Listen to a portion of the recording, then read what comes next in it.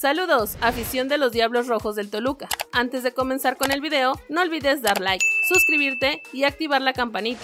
Sin más por el momento, iniciamos. Toluca vs Pachuca, fechas, horarios y canales para la gran final. Pachuca logró sellar su boleto en el estadio BBVA al vencer por la mínima a Rayados. Es por ello que el cuadro dirigido por Guillermo Almada se convirtió en el segundo finalista de la Apertura 2022. Los Tuzos volverán a disputar una final de la Liga MX cuando se enfrenten a Toluca, que derrotó al América en el marcador global en un partido lleno de dramatismo y polémica. El partido de ida será en el Nemesio 10 debido a que los Diablos Rojos finalizaron en la sexta posición de la tabla general. El encuentro se llevará a cabo el jueves 27 de octubre y será transmitido por TUDN. Nuevamente Pachuca tendrá la oportunidad de conseguir su séptimo título en frente de su gente. La vuelta será en el Hidalgo el próximo domingo 30 de octubre. La transmisión será por Fox Sports y Marca Claro. Esta será una final inédita en el fútbol mexicano, pues nunca se habían enfrentado en esta instancia ambos clubes. En la fase regular el Pachuca goleó 4 a 1 a Toluca en el Nemesio 10 con goles de su canterano Vargas. Por otro lado, Toluca tratará de ponerle fin a la maldición del sexto lugar, pues desde que se comenzó a jugar con formato de liguilla en la ya lejana temporada 1970 a 1971, solamente un equipo terminó el torneo regular en dicha posición y logró ganar el título de Liga MX. Sin embargo, en torneos cortos nadie lo ha conseguido. La directiva hizo un gran trabajo en muy poco tiempo. El torneo pasado los Escarlatas pagaron una millonaria multa por terminar en los últimos lugares de la tabla de cocientes y ahora buscan un nuevo trofeo. Toluca terminó el torneo regular de la Apertura 2022 en el sexto lugar, eliminó a FC Juárez en el repechaje, luego echó a Santos Laguna en los cuartos de final y sorprendió al vencer al América en las semifinales. Los azulcremas eran los grandes favoritos para ganar el título este semestre, pero no lograron dar el último paso. De nada sirvieron los récords que consiguió. Los equipos que más veces han ganado el título de Liga MX en los últimos 33 años son los que están en lo más alto de la tabla general. Los primeros y los segundos se han coronado 22 veces, mientras que los terceros se han consagrado en 14 ocasiones. Para finalizar, señalan que arbitraje tuvo suerte en el gol de Martín. En los últimos minutos del encuentro, Henry Martín emocionó a toda la afición con un gol. Sin embargo, la anotación fue anulada tras ser revisada por el VAR, pues el delantero mexicano estaba ligeramente adelantado. Francisco Chacón, que suele ser polémico por análisis arbitrales en redes sociales, mencionó que el cuerpo arbitral tuvo mucha suerte, ya que la línea del área grande fue la referencia para anular el gol. Ayer el Toluca FC tuvo mucha suerte de que el fuera de juego del Club América tuviera como referencia la línea del área penal, esa jugada en otro lugar del campo no hubiera sido anulada, por eso urge la tecnología de los vectores para determinar el fuera de juego,